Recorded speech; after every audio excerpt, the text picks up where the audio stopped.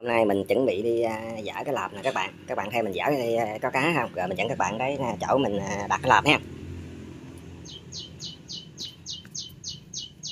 Rồi mà các bạn đi đến chỗ mình đặt cái à, lợp lợp bự lắm á. Biết có cá không? Cái cái lợp to lắm. Lợp này chưa khoảng chừng 10 kg cá vẫn được đó. Đây các bạn cái lợp. Cái lợp này chiều dài hai mét mấy luôn đó các bạn chiền đặt với gà ào à, sâu. Để mình giãn lên coi nè. Ừ. Có mấy con cá sặc bớm. Trời ơi vợ rồi làm cái một cụm sống dòng nào giờ.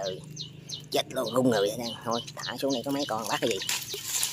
Để uh, nó nhiều nhiều đi dụ dụ cho nó vô.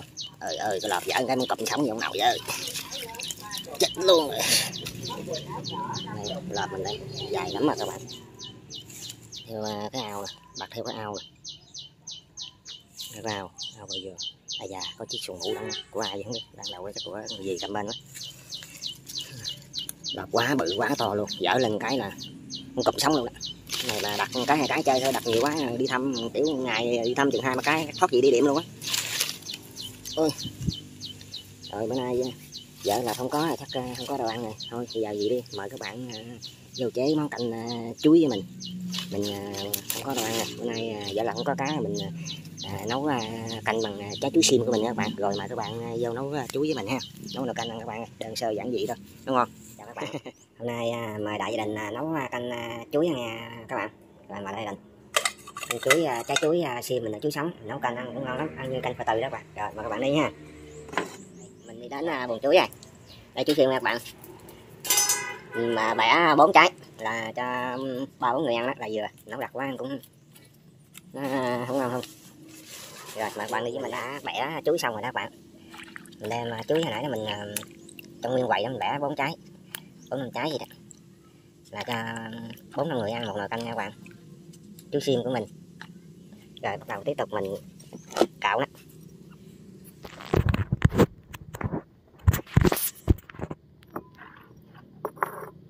mình dùng cái muỗng dùng cái muỗng nha bạn.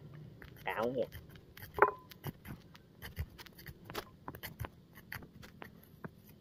Cạo càng mỏng càng ngon nha bạn.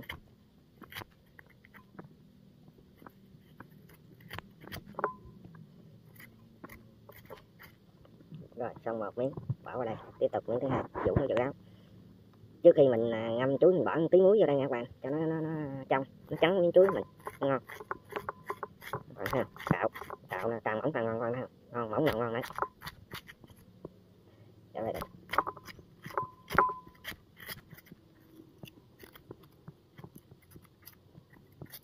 Dạ, hai miếng. Miếng sạch. Cạo tiếp miếng nữa.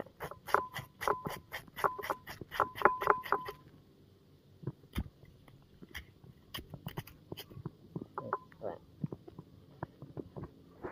Đây là mình lựa cái chuối nó vừa à, vừa hòm thôi các bạn đừng có chín quá nha. Chín quá là nó mềm nó ăn không ngon. Vừa chuối non quá cũng không được mà nó vừa bóng vậy nè ha nó vừa đóng dốc vậy nè. Ha ha, trái nó vừa tròn vừa đóng dốc nè. Mình đem mình xẻ vào làm hai. Mình gõ cho thao mình ngâm với nước muối xong rồi mình cạo. Cạo ra tô thế này. Rồi xong mình nấu cũng như là à, canh khoai từ vậy đó. Mình nêm nồi y như canh khoai từ. Tiêu hành tỏi rồi vô. Mình sẽ có một loại canh ngon. Rồi các bạn theo dõi tiếp nữa nha. Ừ, chú gái nào các bạn này đây là món này cũng ít người được biết lắm các bạn. Món này cũng ngon lắm, các bạn nấu ăn thử đi.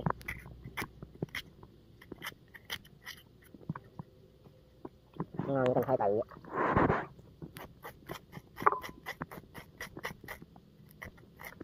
món này cũng độc lạ lắm ạ à.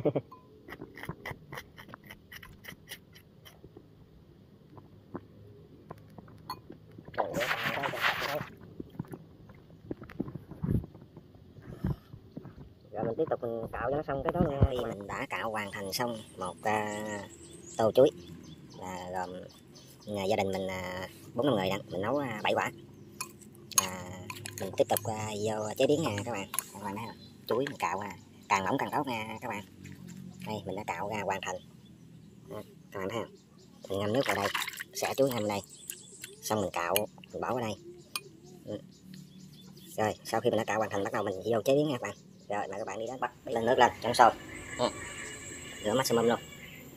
Mau sôi các bạn ơi đậy nắp lại mau sôi đó nó đã lên tim. Rồi tiếp tục mình bỏ à, nêm muối nước mắm. Đường một hạt tiêu hành cà no gì đó. Vô các bạn. Này cái tô của mình để đây đi. Đây, tiếp tục mình nêm. Cho nấu này nước sôi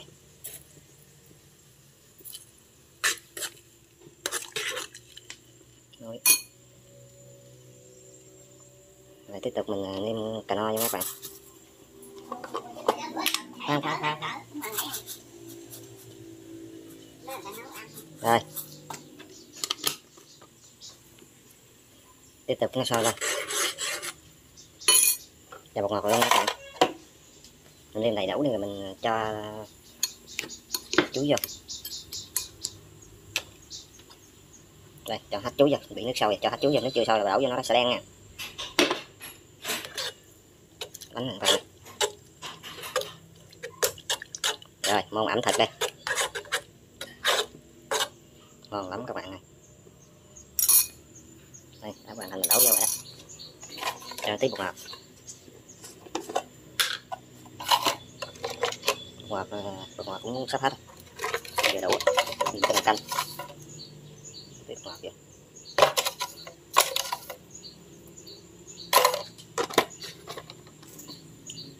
này các bạn đừng thấy cho tí đường nữa nha các bạn.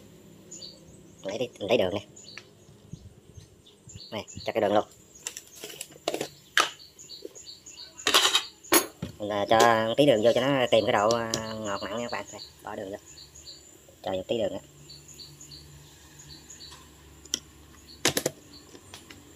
Và cuối cùng mình bỏ tiêu vô nha các bạn. Mình cho miếng tiêu nó có hành bẩn hành vô nó thịt mình bỏ vô. Nấu sao cho cái à, chuối nó trong lại là mình cho có một nồi canh ngon hảo hạng nha các bạn. Ngon lắm các bạn ơi trong trắng. Bạn thấy như canh từ từ các bạn nhớ bào lấy cái muỗng vào càng mỏng càng mịn càng ngon nha các bạn. Rồi cho các bạn hoàn thành rồi các bạn ơi. Kết quả các bạn thấy ngon không?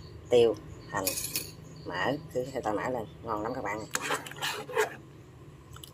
Rồi chúc các bạn uh, ngon miệng nha. Rồi dùng chung với mình. Rồi mời các bạn dùng chung mình nha. Ngon miệng lắm. Rồi xin chào các bạn. Thì à, hẹn các bạn những video mới à, tiếp à, theo của mình nha các bạn. Rồi các bạn đây các bạn coi thành quả nè các bạn.